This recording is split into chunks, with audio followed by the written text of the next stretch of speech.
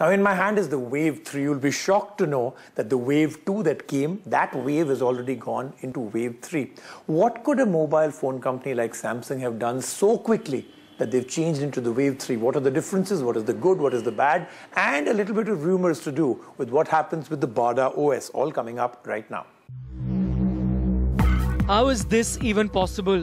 We just reviewed the Wave 2 and the Wave 3 is already here. It's more like a tidal wave of Bada phones. Did they do enough to differentiate? Can the third generation of the Wave make a splash in the smartphone market or can we just wave it goodbye? This one is different from the usual plastic phones of Samsung. A metallic aluminium casing does seem neat and stylish and very slim. In fact, it is just 9.9 mm at its slimmest point. An almost unibody design with minimalistic keys, the power key is on the right and the left panel has the volume rocker. The USB port and the 3.5mm jack is at the bottom, which is not the most convenient position for the audio jack.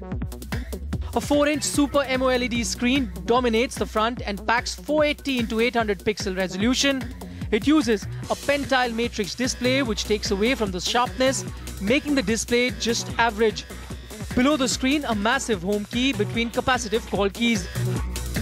Flip the phone around and there is a 5 megapixel camera with LED flash. The vertical bars on either sides of the screen have all the tools required for picture settings.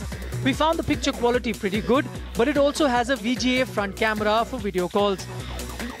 The phone is powered by a massive 1.4 GHz processor, which allows speedy multitasking. Wave 3 runs on Samsung's homegrown Bada 2 operating system. Going by the rumor mill, Bada may get merged with the Intel-backed Tizen operating system. If this happens, Bada will continue as an operating system for low and mid-range phones, while the premium handsets will run on Tizen. Back to the phone now. Bada is a lot like Android. Teamed up with a TouchWiz UI, it's not a bad combination. Samsung has introduced the Live panel, which is scrollable menu for widgets. Choose their order and enable or disable them as you please. The gallery has also been modified with a nifty page turn effect, not many pictures editing tools beside cropping and rotating. The phone also supports ChatON, which is Samsung's version of BBM and iMessage to send free text to your friends. But sadly, there are a few apps to download on the Bada operating system. Samsung really needs to step it up here. The memory of the phone is 4GB expandable to 32GB with a card. The card slot is not hot swappable though.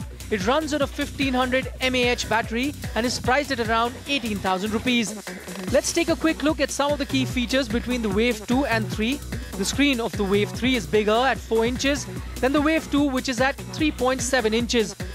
The internal memory has also been boosted from 4GB to 2GB in Wave 2 most importantly, the operating system has also been upped from Bada 1.2 to Bada 2.0.